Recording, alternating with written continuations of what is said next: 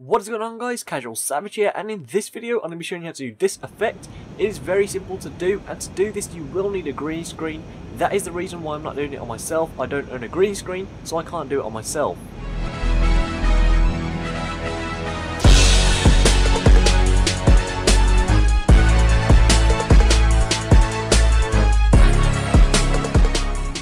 Now before getting into this video, if you want to request a tutorial, then let me know in the comments below or on Twitter. Now I also said in the video to do this effect you'll need a green screen. The green screen I used was from HD Green Studio. They have a ton of free green screens you can use, so check them out in the description. Okay, so here we got the stock footage, we got the face cam. Here we have, of course, the green screen itself. I'm just going to shorten it down, and I want it to end when the video ends as well. So that means I want the end of this video to match the end of this video.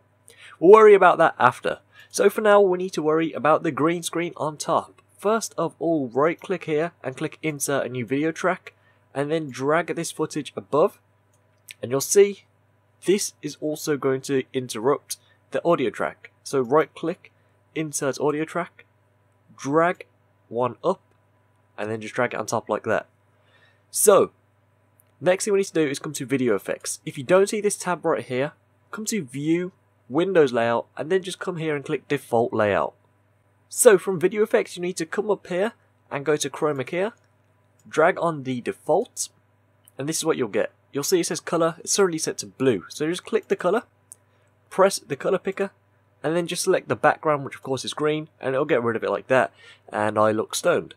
Anyway, we can now exit out of this. And like I said, I want the video to end the exact same time. What I'm going to do now is actually find where I say this effect and point up. So that is when I want the video to start. So I'm just going to play through it. What's going on guys, Casual Savage here. And in this video, I'm going to be showing you how to do this. So right there.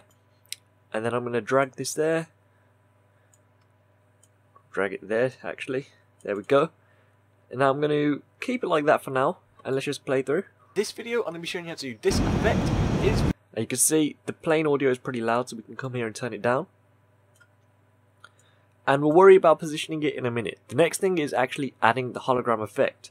So again, video effects, and this time we're coming to something called TV Simulator. It's right there. And we're going to add on TV look onto the green screen. And you'll see, that is what we'll get. Now you can see you can mess around with all these settings, sometimes it's usually okay. The scan phasing, as you'll see, is the white beam that goes across the plane. To be honest, it looked good default, but of course you can mess with the settings itself. Adding a bit more static, you can see, it will make it a bit better to make it look a bit more of a hologram effect. So about there, good effect. Is very simple to do. Yeah, that looks better for me.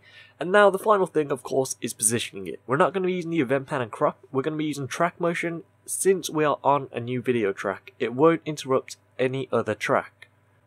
So we're going to come to track motion. And I'm just going to go ahead and position this. So I'm going to make sure scale about center is checked. I want to make sure lock aspect ratio is checked. And I'm also going to make sure I'm on position. And then just drag it down. Make it smaller then just move this to the side. And of course the plane is turning so I don't want it to come over onto my face.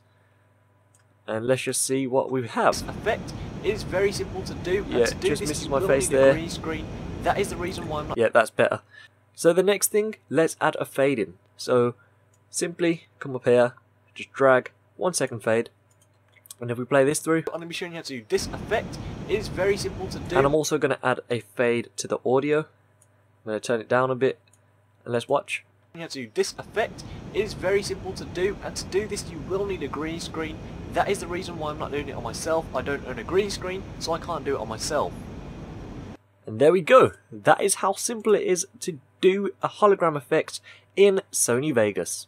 Like I said at the start of the video, if you'd like to request a tutorial, then be sure to leave it in the comments below or ask me on Twitter.